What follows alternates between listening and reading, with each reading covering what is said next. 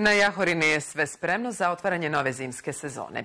Zvanično puštanje u rad topova za osnježavanje planirano je za 1. decembar, a sve će biti uveličano i koncertom Svetlane Režnatović.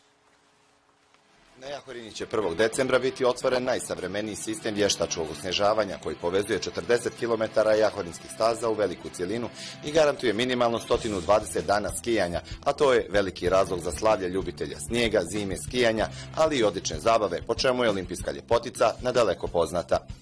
Uz novi sistem za osnežavanje e, će Jahorina posle ove sezone biti simbol za sigurnost u sneg uz e, nove odlično pripremljene staze. E, kao jedan od organizatora mogu da kažem da se još od početka ove najave koncerta traži karta više za koncert.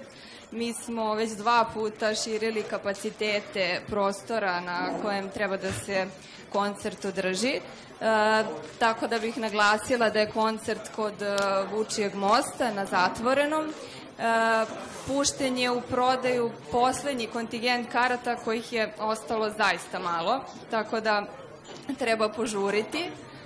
I želim ispred Olimpijskog centra Jahorina sve da pozovem da nam se pridruže na ovom jednom zaista istorijskom koncertu za Jahorinu i da kažem da mi je veoma drago što turisti iz čitavog regiona opet dolaze na Jahorinu upravo zbog dobrog provoda i zabave.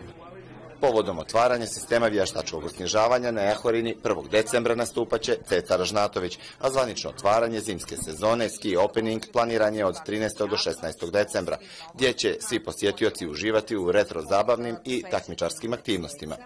Ja po prvi put nastupam na Jahorini i mogu da vam zagarantujem toplu atmosferu, kako god da bude vreme, možda i kijamet, možda i sneg, to je planina, ali u svakom slučaju, da, letni čaroli u sredini, ali u svakom slučaju ja obećavam sjajan provod, odličnu atmosferu i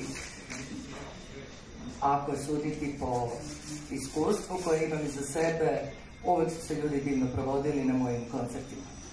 Sjećate li se zimske olimpijade 1984. godine i Jahorine? Njene staze još postoje, a sada su modernizovane. Poziva britanski Guardian svoje čitaoce da dođu na poznatu planinu.